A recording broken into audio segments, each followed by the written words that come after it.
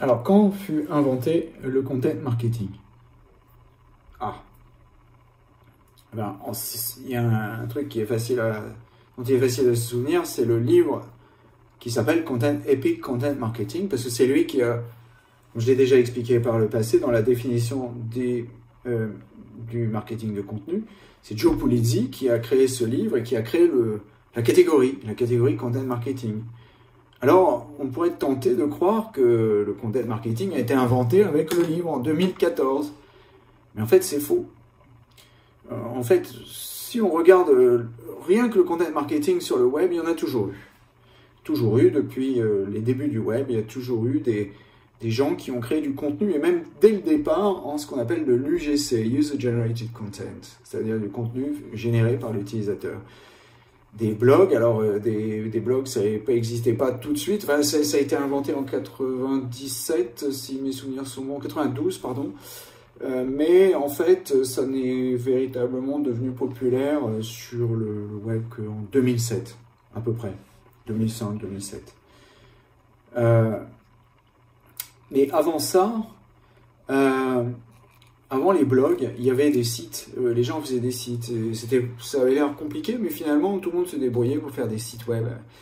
Et ça marchait pas mal. Et il y avait des, communautés qui existaient, comme GeoCities par exemple. Le marketing communautaire, ça n'existe pas depuis euh, euh, trois minutes. C'est quelque chose qui est assez ancien.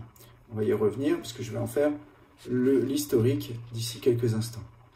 Alors, pour ma part, j'en fais depuis 25 ans.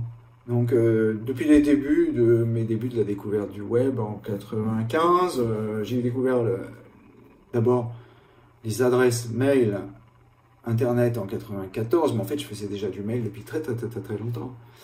Euh, j'ai quasiment toujours fait ça.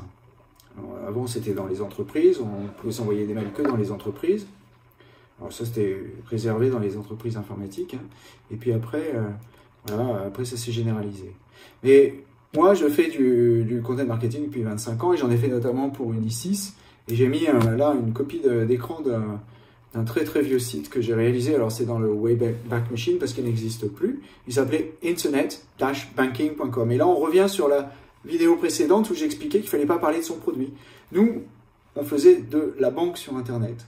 Mais on n'était pas bon hein, sur la banque sur Internet, on n'en avait encore jamais vendu. Alors, on a utilisé le content marketing pour aller faire une évaluation, un baromètre, c'était moi qui ai eu l'idée d'ailleurs, j'ai fait un baromètre Internet Banking Barometer, le, baromètre de la banque sur Internet. On est allé évaluer toutes les banques anglaises d'abord, puis après toutes les banques françaises, toutes les banques allemandes, toutes les banques italiennes. Il a été publié en trois ou quatre langues. Et puis, euh, euh, grâce à ça, ben, on s'est fait connaître. Euh, au bout de 15 jours, on était connu de toutes les grandes banques. on est intervenu chez Abbey National, on a fait pas mal de missions. Alors, ça, c'est pour l'Internet. Mais on pourrait croire que le marketing de contenu est réservé à Internet, mais pas du tout. En fait, il a été inventé par John Deere. John Deere, avec un, livre qui s'appelle The Farrer, un magazine en fait. Eh bien, ce magazine, vous pouvez aller en ligne, taper dans Google The Farrer, John Deere, et vous le retrouverez. Il est en ligne, il est toujours là, 120 ans plus tard, puisque ça a été inventé en 1895, 125 ans même plus tard. C'est incroyable. Et donc, ça vous dit une chose aussi. Quand j'ai dit dans la définition du content marketing que le content marketing il devait être consistent in time, cohérent dans le temps.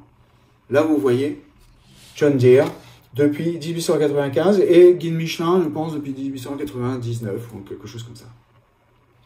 Donc, le content marketing n'a pas été inventé aujourd'hui, loin de là. C'est quelque chose d'assez ancien mais bien entendu qui se développe énormément grâce à Internet.